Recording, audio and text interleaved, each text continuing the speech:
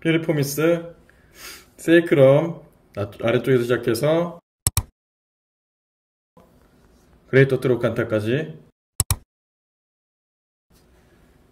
팔꿈치 바깥쪽 이용해서 압박